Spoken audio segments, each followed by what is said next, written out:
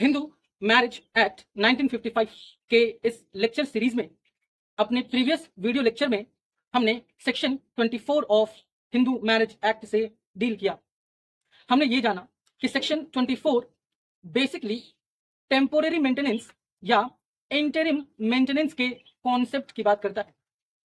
Section 24 में maintenance pendente lite and expenses of proceedings के बारे में बात किया जाता है। यानी under section 24 either husband or wife may apply for getting decree of maintenance ताकि उस मेंटेनेंस के अमाउंट से एप्लीकेंट अपने लिटिगेशन एक्सपेंसेस को बियर कर सके और मुकदमा लड़ सके। तो सेक्शन 24 में जो मेंटेनेंस अलाउ होता है वो बेसिकली ड्यूरिंग दी प्रोसीडिंग्स होता है। Right right?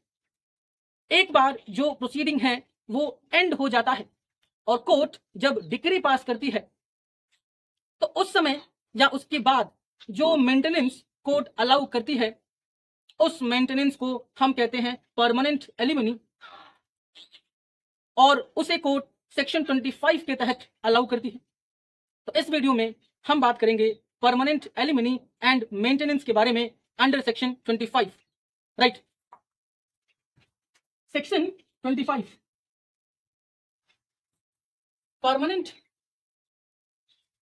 alimony and maintenance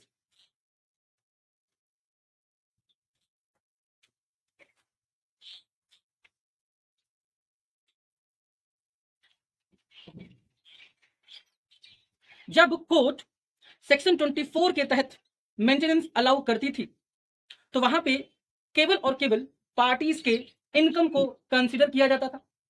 court ये देखती थी कि जो एप्लीकेंट है, उसका क्या इनकम है?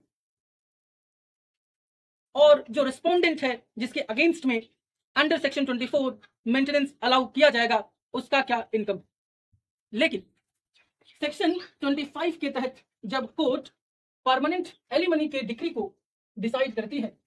तो यहाँ पे दोनों पार्टीज़ के इनकम को देखने के साथ साथ अगर कोई प्रॉपर्टी है तो उसका क्या वैल्यूएशन है, उसे भी कंसिडर किया जाता है।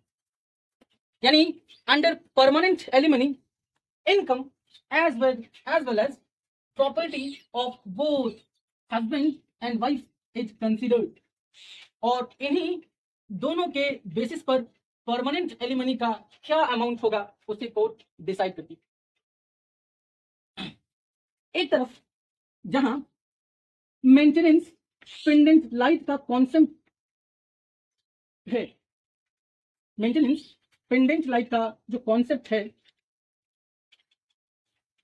तो बेसिकली इसका जो ऑब्जेक्ट है, वो है to bear litigation expenses litigation expenses और ये जो मेंटेनेंस इफ़ेक्टिव होता है, वो केवल और केवल ड्यूरिंग दी प्रोसीडिंग्स होता है। ड्यूरिंग दी प्रोसीडिंग्स होता है। Right right. और जैसे ही प्रोसीडिंग्स एंड हो जाता है तो इस ऑर्डर का जो इफ़ेक्ट है, वो भी एंड हो जाता है।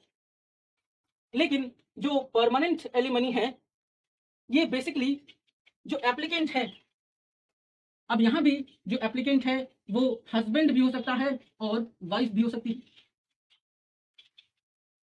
तो परमानेंट एलिमनी का जो कॉन्सेप्ट है, वो एप्लीकेंट के होल लाइफ को सपोर्ट करने के लिए है मेंटेन करने के लिए है राइट right. तो permanent alimony under section 25 is awarded by the court to support the entire life of applicant और यहाँ पे जो एप्लीकेंट है, वो हस्बैंड भी हो सकता है और वाइफ भी हो सकती है राइट right. तो बेसिकली जो मेंटेनेंस का कॉन्सेप्ट है, ये एक लीगल कॉन्सेप्ट है, जिसमें एक पार्टी को दूसरी पार्टी अमाउंट पे करती है, ताकि उसे मेंटेन कर सके, ताकि उसे फाइनेंशियली सपोर्ट कर सके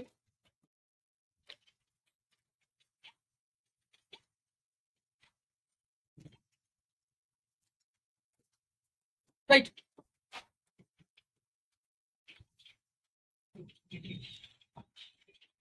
और ये जो एलिमनी का अमाउंट होता है, इसे कोर्ट डिसाइड करती है। At the time of passing of decree decree pass करते समय। Right right.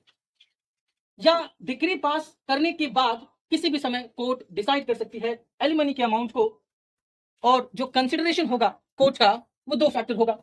पहला इनकम ऑफ़ बोथ पार्टीज़ और दूसरा if there is any property तो उस प्रॉपर्टी का वैल्यूएशन क्या है? Right right.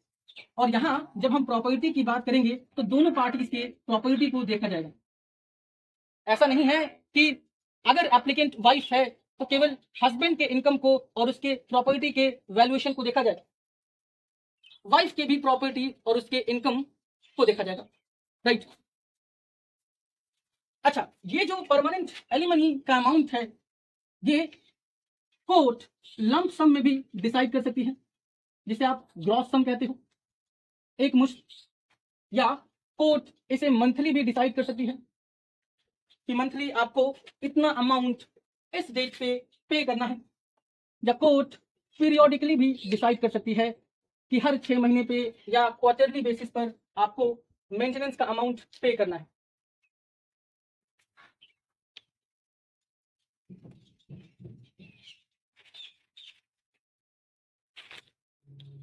What is the basic difference between section 24 and section 25 section 24 में जो मेंटेनेंस कोड अलाउ करता है, वो बेसिकली इफ़ेक्टिव होता है ड्यूरिंग द प्रोसीडिंग्स ओनली जब तक कार्यवाही चल रही है।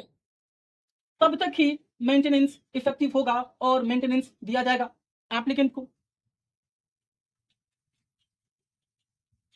और रेस्पोंडेंट को जब सेक्शन 24 में नोटिस सर्व हो जाता है तो उस दिन से within sixty days court इस मामले को, यानी इस मेंटेनेंस को अंडर सेक्शन 24 डिसाइड कर देती है।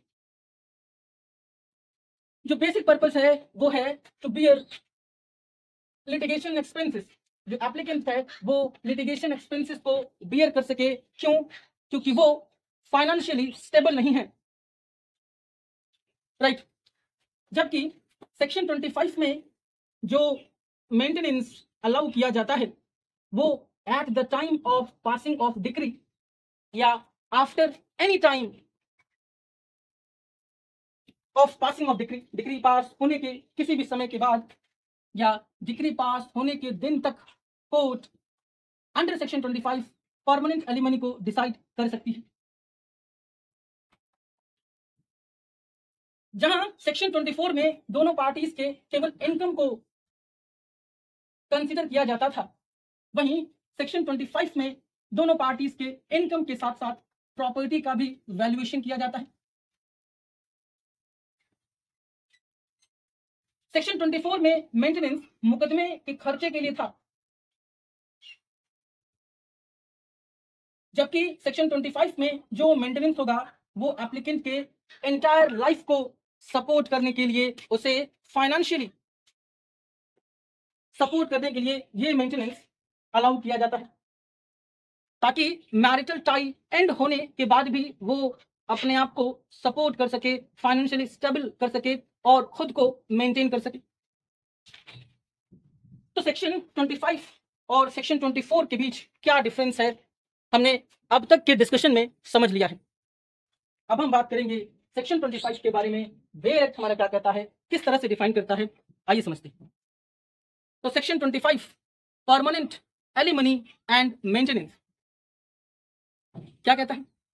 Section 25 sub section one any court exercising jurisdiction under this act may at the time of passing of any decree तो कोई कोर्ट जिसका जुरिस्डिक्शन बनता हो हिंदू मैरिज एक्ट में किसी पर्टिकुलर या किसी भी पिटिशन को एंटरटेन करने का जिस कोर्ट के पास जुरिस्डिक्शन है, वो कोर्ट इस एक्ट के तहत, यानी हिंदू मैरिज एक्ट के तहत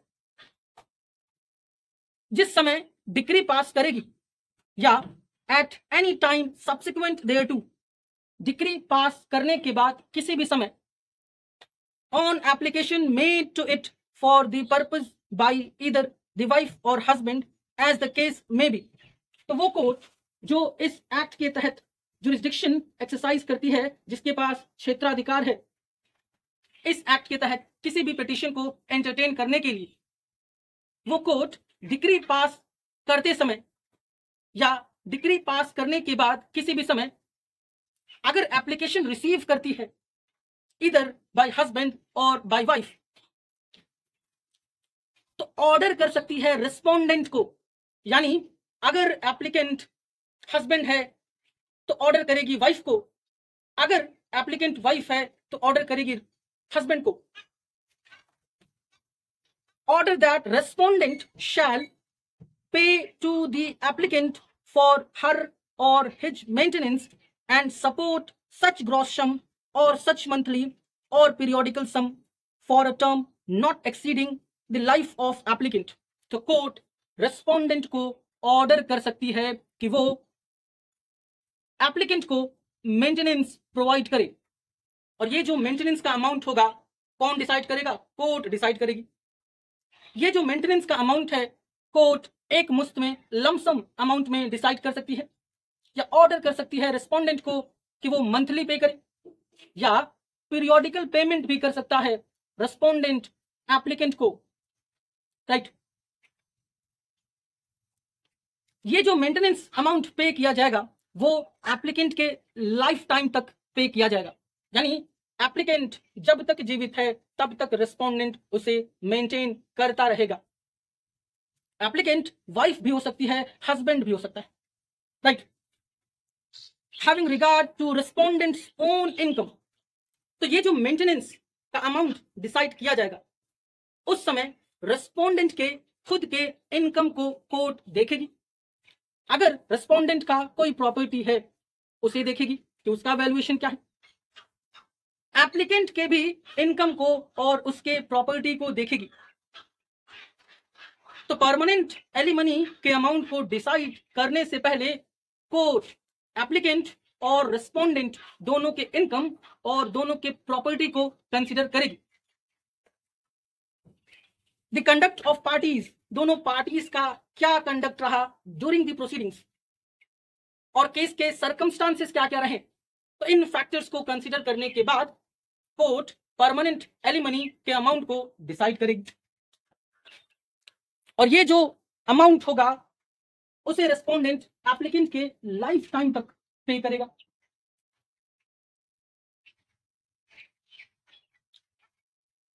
राइट तो सेक्शन 24 की तरह ही सेक्शन 25 में भी कोई हार्ड एंड फास्ट रूल नहीं है कि मेंटेनेंस का अमाउंट क्या होगा। ये डिपेंड करेगा कोर्ट के डिस्क्रिप्शन के ऊपर। कोर्ट को उस समय क्या जस्ट एंड रीजनेबल लगा? क्या अमाउंट कोर्ट ने फिक्स किया? It is totally the matter of court discretion right अच्छा अगर कोर्ट ने पीरियोडिकल पेमेंट डिसाइड किया है कि जो परमानेंट एलिमनी का अमाउंट है वो पीरियोडिकली पे किया जाएगा। हर छह महीने में या क्वार्टरली तो उस पेमेंट को सिक्योर करने के लिए रेस्पोंडेंट के किसी इमूवेबल प्रॉपर्टी को as a charge as a security court रखवा सकता है, ताकि in case of failure court उस इमूवेबल प्रॉपर्टी से वाइफ को मेंटेन करा सके। राइट सबसेक्शन टू क्या कहता है? If the court is satisfied that यदि कोर्ट को ऐसा लगता है कि there is change in circumstances right कि जिस समय डिग्री पास किया गया था और जो परमानेंट एलिमनी डिसाइड हुआ था कोर्ट ने ग्रांट किया था, या डिग्री पास होने के बाद अगर कोर्ट ने परमानेंट एलिमनी के अमाउंट को डिसाइड किया था। उस समय जो सिचुएशन था, उस समय जो सर्कमस्टांसेस थे, अब वो कंप्लीटली चेंज हो हो चले फॉर एग्ज़ाम्पल उस समय, जिस समय कोर्ट ने डिग्री पास किया हस्बैंड का इनकम जो था, हम सपोज़ कर रहे हैं कि एप्लीकेंट कौन थी? वाइफ थी। तो हस्बैंड का इनकम कुछ था। उसके प्रॉपर्टी का वैल्यूएशन कुछ था। लेकिन अब there is change in income of husband husband का इनकम बढ़ चुका है या वॉइस वर्षा घट भी चुका है। कुछ भी हो सकता है। There is change in circumstances of either party at any time after it has been made an order under subsection one it may at the instance of either party vary modify or rescind any such order in such manner as the court may deem just. यानी, पहले कुछ और income था जिस समय court ने permanent alimony के degree को पास किया था। अब इनकम बढ़ चुका है। तो एप्लीकेंट के इंटरेस्ट को ध्यान में रखते हुए उस मेंटेनेंस अमाउंट को कोर्ट चेंज कर सकती है। उसमें वेरिएशन ला सकती है। तो ऐसा नहीं है कि एक बार कोर्ट ने परमानेंट एलिमनी के डिग्री को पास कर दिया तो उसमें कोई चेंजेस नहीं हो सकते। चेंजेस हो सकते हैं if there is change in circumstances subsection three क्या कहता है? If the court is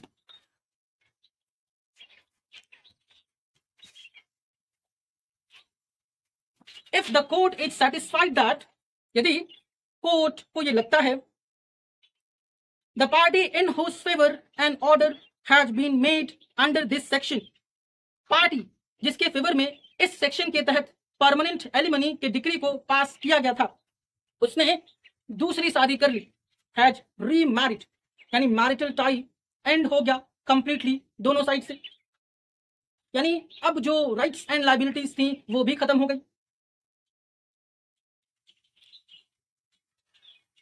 तो कोर्ट क्या करेगी? उस मेंटेनेंस की डिग्री को रसिंड कर देगी।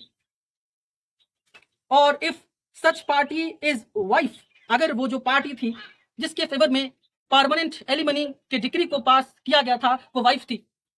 And she has not remained chaste अब वो पवित्र नहीं रही। She has had intercourse with any other person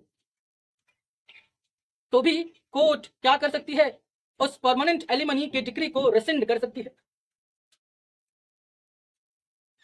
और यदि जो एप्लीकेंट था, वो हस्बैंड था and he has had intercourse with any other women outside the wedlock तो दूसरे पार्टी के इंटरेस्ट को देखते हुए मेंटेनेंस अमाउंट में किसी प्रकार का कोई वेरिएशन या उसे रेसेंड भी कर सकती है कोर्ट राइट